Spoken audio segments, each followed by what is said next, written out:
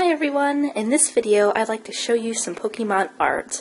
And this piece of artwork here is by Ken Sugimori, who has done a lot of the original Pokemon art, and he actually still helps out with designing the Pokemon and the art for the video games. Um, if we look over here, we can see that this is the official certificate of authenticity from the Pokemon Center, and I got this piece from the North American Pokemon Center website.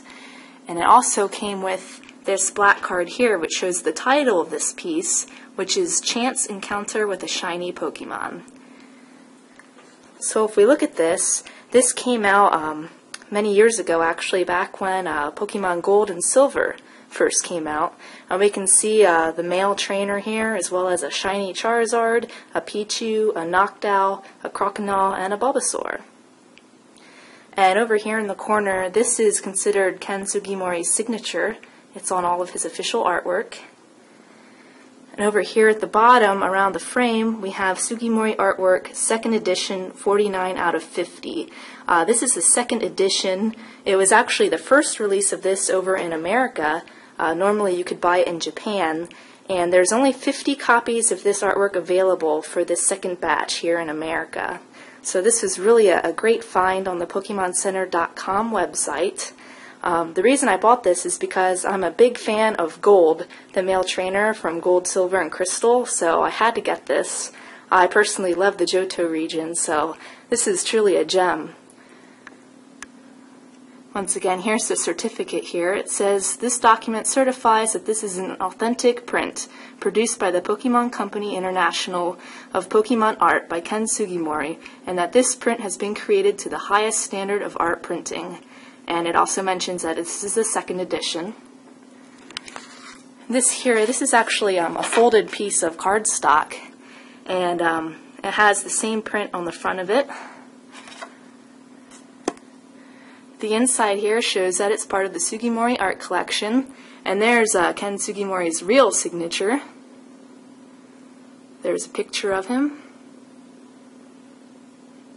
And it just gives a little bit of an autobiography there about uh, Ken.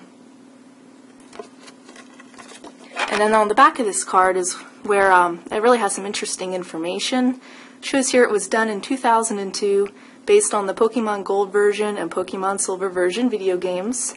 The concept is in a thick forest, the main character and his Pokemon have encountered a Charizard of unusual coloring. There is no hiding the shock they experience when faced with that glittering form in the gathering gloom.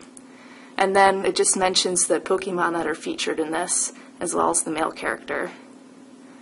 I really like this card because um, I find it interesting to uh, hear what the concept was behind this. And I think this is worded quite nicely too. It says, one of the great appeals of the Pokemon video games is how dramatic scenes appear differently for every player, depending on which Pokemon you choose as partners on your journey. Try looking at these pieces again, referring to the artwork, and imagining what they might look like if they featured your favorite Pokemon instead. I hope that doing so might bring you an even deeper enjoyment. So I think that was actually a, a pretty touching addition here to add to this art. Um, just give some insight on what Ken intended everyone to think about as we look at these pieces of his art collection.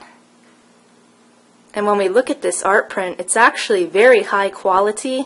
I know it's difficult to tell here in, in the video, but um, the paper quality that it's on is very good. The colors are extremely vibrant. Um, I'm very pleased with it. The only thing that I wasn't too happy about was it was about $250 um, from the Pokemon Center, which I thought was a little bit steep for this, especially since there's not a true autograph from Ken Sugimori on this. Um, it's just a copy of his autograph. But it does come with this black frame and the white stock around the photo. And it also has um, a hanger on the back too, so you can hang it on a wall.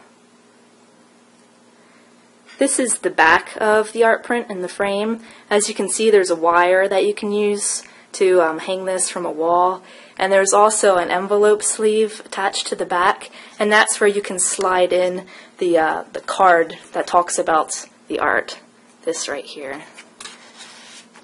So it just nicely slides right in Uh, that way you can store that card right with the artwork itself. Thanks for checking out my video as well as looking at this wonderful piece of artwork. Um, if you have any comments, feel free to post them on the video. And just so you know, uh, last time I looked, there are still some other art prints available on the PokemonCenter.com website. And I'm even thinking of buying a couple more myself. There's one showing uh, the female trainer from Pokemon Ruby, Sapphire, and Emerald, as well as um, one that shows Latios and Latias flying through the sky. So I might end up grabbing those as well. Thanks for watching.